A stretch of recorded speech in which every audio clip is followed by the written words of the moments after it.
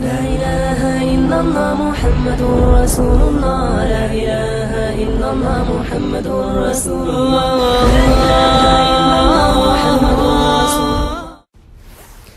حضرت عمر رضی اللہ تعالی عنہ کی خلافت کا زمانہ.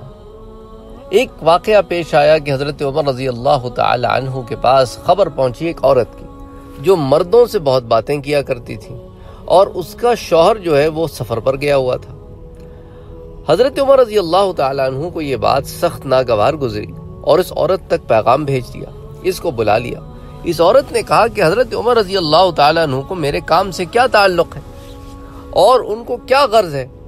بہرحال، چونکہ حضرت عمر نے بلایا تھا، تو وہ عورت جو ہے حضرت عمر رضی اللہ تعالیٰ عنہ سے ملنے چل پڑی۔ ابھی راستے میں ہی تھی کہ اس کو درد ذہ ہو گیا اور پھر وہ واپس گھر آ گئی۔ اس نے بچہ جنا۔ اب چونکہ وہ تکلیف میں تھی، صعوبت میں تھی، مشکل میں تھی، اس زمانے میں سفر آسان تو نہیں تھے۔ تو بہرحال، اس کو پریگننسی میں کچھ کمپلیکیشنز ہو گئیں۔ بچہ پیدا ہوا، پیدا ہوتے ہی بچے نے دو چیخیں ماری، دم توڑا مر گیا۔ لوگوں نے یہ خبر حضرت عمر رضی اللہ تعالیٰ عنہ کو پہنچائی کہ جس عورت کو آپ نے بلایا تھا، اس کے ساتھ یہ حادثہ ہو گیا کہ وہ سفر میں تھی اور اس کو پھر واپس جانا پڑا۔ اب حضرت عمر رضی اللہ تعالیٰ عنہ، یہ دیکھیں نا، یہ اصحاب رسول ہے ان کو آخرت کی کتنی فکر ہے؟ ہر لمحہ، ہر لہجہ آخرت کی فکر ہے۔ آج کے دور کا کوئی ہوتا تو وہ کبھی یہ بات کنسیڈر بھی نہیں کرتا جو حضرت عمر رضی اللہ تعالیٰ عنہ نے کنسیڈر کی۔ تو آپ نے اصحاب رسول صلی اللہ علیہ وآلہ وسلم کو جمع فرمایا اور ان سے مشورہ کیا کہ کیا اس عورت کا جو بچہ مر گیا ہے، اس کا ذمہ دار میں ہوں؟ اگر ہوں تو پھر مجھے اس کی دیت ادا کرنی ہوگی۔ تو اکثر اصحاب نے کہا کہ یا امیر المومنین رضی اللہ تعالی عنہ، اس باب میں ہم تو یہی کہتے ہیں کہ آپ کے اوپر کچھ نہیں، آپ تو والی ہیں۔ آ، ایک والی کی حیثیت سے، ایک بادشاہ کی حیثیت سے آپ نے اس عورت کو بلایا۔ وہ عورت راستے میں تھی، آپ کو تو نہیں خبر تھی اس بات کی۔ اور یہ کمپلیکیشنز ہو گئیں اور بچہ چلا گیا تو آپ بالکل صاف ہیں۔ آپ تو والی ہیں، آپ نے حکم دیا تھا۔ اور بات جو آپ تک پہنچی تھی، اس کی تفتیش ضروری تھی۔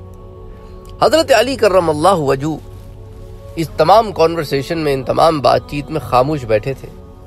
اور حضرت عمر رضی اللہ تعالیٰ عنہ، حضرت علی کرم اللہ وجو کی طرف ہمیشہ دیکھا کرتے تھے کہ اس معاملے میں یا ہر معاملے میں حضرت علی کی کیا رائے حضرت علی رضی اللہ تعالیٰ عنہ کی رائے کو ہمیشہ مقدم رکھتے تھے۔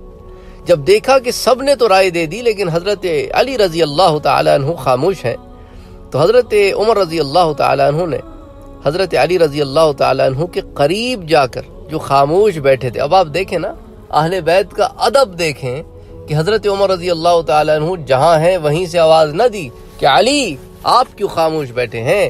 آپ بھی تو بتائیں، وہ حضرت علی رضی اللہ تعالیٰ عنہ کے پاس گئے، قریب گئے اور کہا حضرت علی رضی اللہ تعالیٰ عنہ، آپ خاموش بیٹھے ہیں۔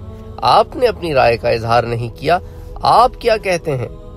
حضرت علی کرم اللہ وجہ نے فرمایا، اگر ان لوگوں نے اپنی رائے دی ہے تو غلط رائے دی ہے۔ اور اگر آپ کی خواہش کے احترام میں کچھ کہا ہے تو انہوں نے آپ کے ساتھ خیر خواہی نہیں کی ہے۔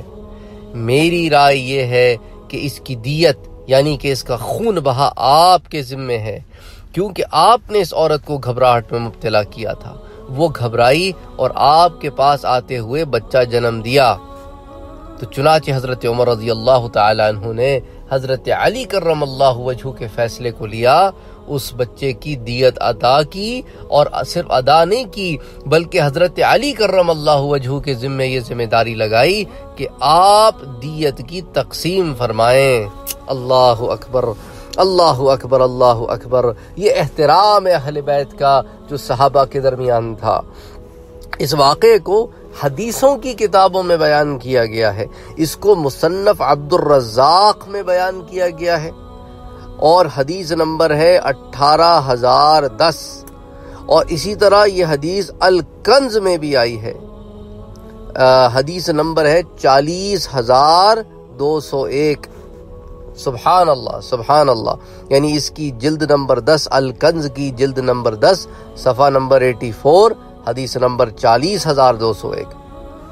اللہ تعالی ہم سب کو یہ توفیق عطا فرمائے کہ ہم اپنی زندگیوں میں تقووں کو لے کر آئیں اور تقوی والی زندگی، ایک متقی اور پرہیزگار والی زندگی گزاریں اور متقی اور پرہیزگار وہی ہوتا ہے جو ہر قدم پر اس بات کا خیال رکھتا ہے کہ کیا اس عمل سے میرا رب راضی ہوگا یا ناراض ہوگا۔ اللهم صل وسلم وبارك على سيدنا وحبيبنا وشفيعنا محمد صلى الله عليه وسلم۔